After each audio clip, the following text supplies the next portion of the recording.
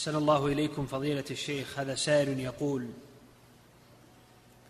من أشرك شركا أصغر هل يدخل في النار لو مات قبل التوبة؟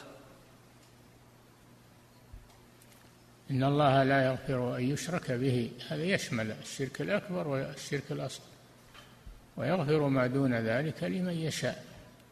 لكن إذا تاب تاب الله عليه. نعم.